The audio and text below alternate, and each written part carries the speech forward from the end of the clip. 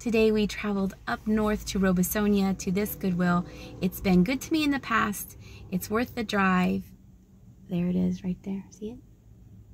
I'm probably also going to tack on some other Goodwill shopping trips that we've taken locally in Lancaster. Hope you enjoy it. And here's the first aisle I walked down. I saw this Starbucks mug. Their Starbucks mugs were priced at $3.99, which I thought was a little high. I like to pay $1.99 at the most. 99 cents is my favorite. I used to pick up a lot of Starbucks mugs when I first started out, but now I'm a little bit more picky about looking up comps, sold comps. This was a nice uh, figurine statue, very tall, perfect for Christmas time. Here was a little rabbit with grapes around it for $2.99.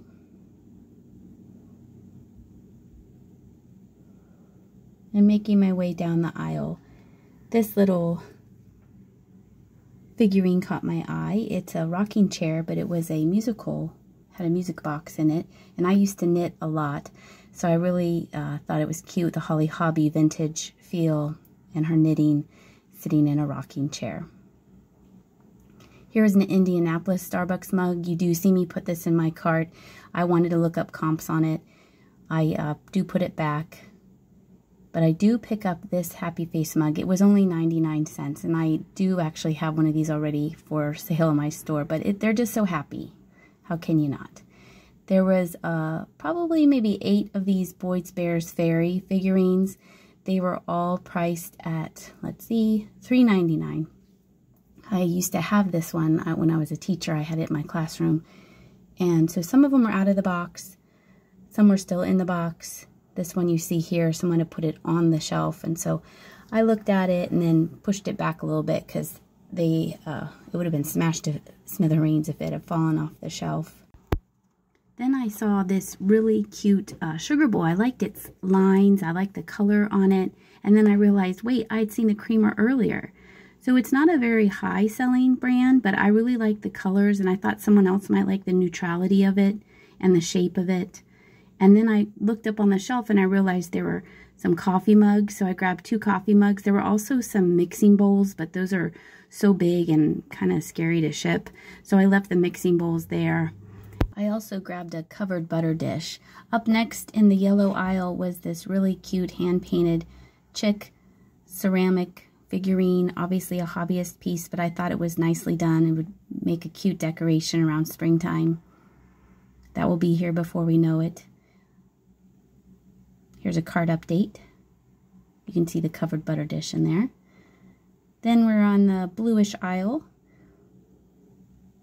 Here was some uh, stationery, but the stationery was plain, just white, so I left it there. There's a silent butler. Here, I believe that is. This is Bennington Pottery. These are trigger handle mugs. It looks like I'm ignoring them, but I do in fact picked both of those up. They do sell between 20 to $30. That is a silent butler, right? Everyone's going to say yes or no. Just giving you a look of what else is in the blue aisle. Then op opposite the blue aisle is the greenish aisle. This was a really cute frog. Had a frog on the back. It was a candle, entirely made of wax, obviously. And we have been having such hot weather. I would only feel happy about shipping that in the dead of winter when it wouldn't have a chance to melt. This was a display for Maggie Moo figurines. I recognize this from my Hallmark store days. And then here is a pig. And Jenny said that the pig was filling in for the Easter Bunny. So I thought that was pretty cute. And that it needed to go over onto the display. So put him in October. And then strawberries seemed to be popular. And these were some dried silk arrangement leaves with strawberries. And then up here was a cute little Fitz and Floyd Charming Tales some of those, I did look those up when I got home, and some of them do sell well. So I'll have to keep an eye out for those next time. And I did pick these up. These were a little folded over glass. You could put a little votive in there. Simple and sweet. And seeing if there's anything else in the bag behind it and it didn't look very exciting. So I ended up taking the bag in the front. And then we were almost finished and this uh, vase I thought was really pretty. Had a nice matte feel had a nice feel to it texture wise and so I thought and it was signed so I thought for $2.99 yes and then the back wall, their back wall is the red aisle, or as Michael says, the passion aisle. So I'm giving you a look at what's in the red aisle. And this little trinket box caught my eye. It was nicely done. Simple, but well made. The hinge was nice and the inside looked fairly good. So for 99 cents, I took that. Then we're doing one last round. I found another Starbucks mug. This one is Seattle. $3.99. See, I just can't, can't do it. And then I picked this up. This was a Lenox Butterfly Meadow paper napkin holder. And then we were both wondering, Jenny and I were both wondering, what is this for? Like, there was a dog, I guess, and then there was a food bowl inside it, so you couldn't really put a candle. I don't know. So it went back on the shelf. And then these, uh, I thought the ivy leaves on these were nice. And a cute little coaster with some cactus on it.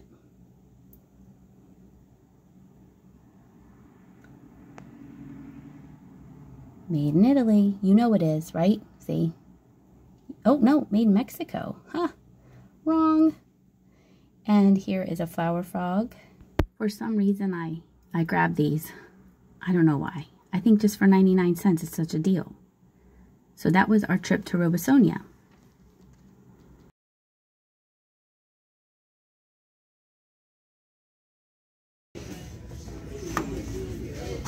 That's neat with the sailor thing. It's like hand carved. I like that. That's neat and I like this too.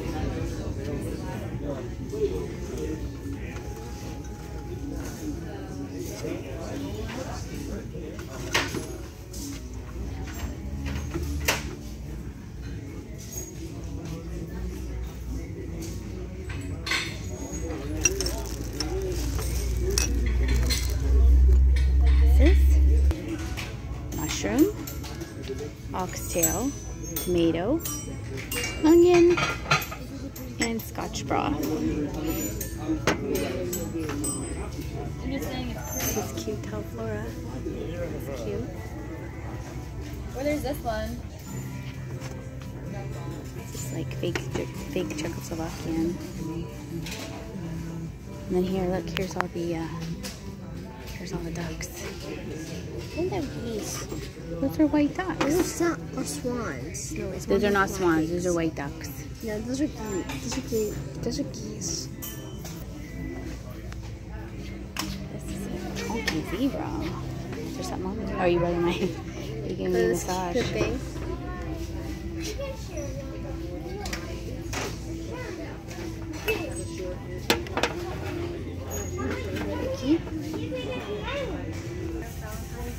What's that? We see a lot of Pfaltzgraff in our area. I think because we are close to York, which is where it was made, if it's still made in York. So I'm just showing you, you could have a whole set of this Pfaltzgraff if you wanted to.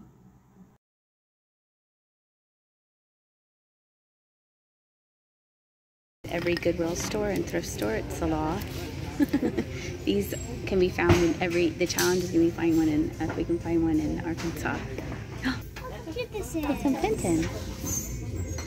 Aw, that's cute. Hello. Hello. We got that. 99 cents. Restaurant wear. Plaza. Hand decorated Cosmopolitan. Wellsville, China. Wellsville, Ohio. And then there was a whole nother. Oh my gosh, there's one, Two, three, two, three, four. Holy mud. That's a lot of restaurant saucers. They're multiplying. That's crazy. Here was an ice bucket with some tumblers. The ice bucket and tumblers, they were in good shape, but that ice bucket was super duper heavy. And shipping those would have to go in separate boxes. So too much of a hassle for me. So I left it there.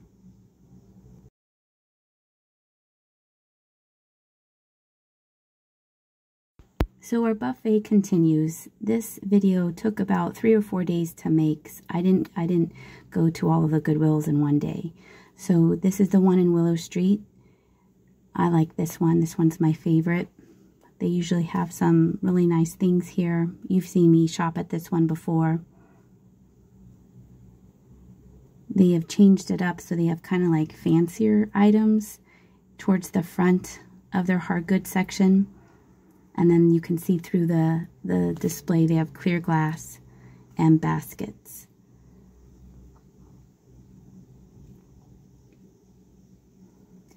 This was nice, and I almost got it, but then I noticed there wasn't a mark, and also there was some of the blue, what I think was supposed to be enamel, there was some on his on his leg, or its leg. So I left that there, and then these were some just simple lusterware, New Orleans plates. Then starting in the white aisle, this is the end cap. There are these little owls. And then above them, there was a depiction of the Holy Family. But I didn't like how Mary was just kind of like holding the baby. Her hand isn't even on the baby. So I was being picky. So I left it there. And let me see, what else do I find? Oh, this. This uh, shell box. I would have loved to have this when I was younger. Look how pretty it is. It did have some shells missing on the front, and these make me nervous to ship. So I left that there for somebody else who was just going to take it and enjoy it and not have to wrap it in bubble wrap. and then this glass pitcher, I really liked the colors on it. I thought it, I liked the color tones. That was pretty. Be perfect for this type of year when it's so hot. A little mug. Look, there are those uh, Fiesta Ware mugs are still there. I picked up this little fish figurine. I thought it was nice. I like the colorways on this as well. And the bottom made me think it was old because it looked old. And then I picked this up because Kat the Nurse Flipper has been um, picking up Kachina dolls. And I thought this was interesting. I even showed it to her and she said she has never seen anything like it. And I do put a tea light in it when I get home. And so I guess you could put a light underneath it. It had no chips or cracks. It does have wear, but I did get a majority of that wear that you see off once I got it home. So I, I did pick that up, and I normally don't pick up Southwestern stuff. But because it was unusual, I thought, well, we'll give it a chance. This, I thought, looked like those green barrel mugs that I had before but it didn't have the marking. I believe they're McCoy mugs, if I remember correctly. So since it didn't have the marking and it was brown, I left it there. I did pick this up. This was hand painted and it was signed New Oxford, PA, which is nearby here. And it had a cute little spaghetti nest that the bunnies were sitting on. And I like the colorway, of how it was sprayed across. So that went in my cart.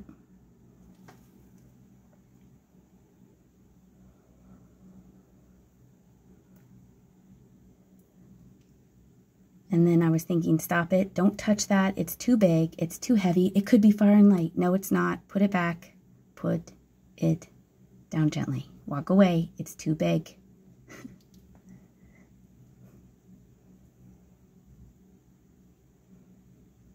and this is the red and orange aisle. Seeing if there's anything new that catches my eye. This I did pick up and you're thinking, why? Well, I like the graphics on it. I like that the directions say that you can spray paint it. I like the hot dog picture on the right where you just like stick hot dogs in the holes. So I thought somebody else might like it too. This caught my eye because Mary Kay, I had a neighbor who used to sell Mary Kay and she tried to always talk me into buying Mary Kay and I was thinking, oh look, you could put on a party dress and drink out of a punch bowl. Uh, this nest, um, I wasn't sure. Then on the back, they have all the seasonal things, and this is the Christmas. I'm always hoping that one day I'll walk in and it'll all be Christmas decorations from the 50s and 60s. But right now it's from the 2000s and late 90s. But you never know, so you gotta look, right? I have these glasses for sale currently. I have a set of four or a set of two in my shop. So I thought that was funny. I probably would have picked those up if I didn't already have them for sale.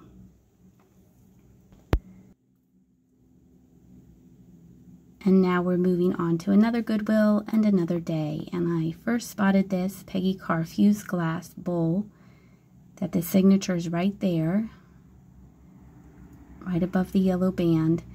And this is an unusual one, hard to find, so I was pretty excited to find this with no chips or cracks. So I did pick that up. And then on their end cap, they have a whole end cap of uh, candles, but there were these two little figurines that were painted in 1977, just some minor chipping on her foot. And so I thought those were very sweet, and I like the bright colors. So I picked those up. And then here is some stained glass. I thought someone in Texas might really like this. And it has a hook that it's ready to hang in your window. And you could even hang something light off that little bottom part. And I'm making sure, what is this made out of? Ah, it's plastic. Put it back. And I took the rose instead. And I couldn't believe it when I went down the clear aisle. I saw another one of these jars. My collection could have been four, if only I had picked them up when I first started seeing them. Here is all of the things from all of the days that I uh, went and visited four Goodwills. Thank you again for your continued support, and I really hope you enjoyed this video. Thank you so much for watching.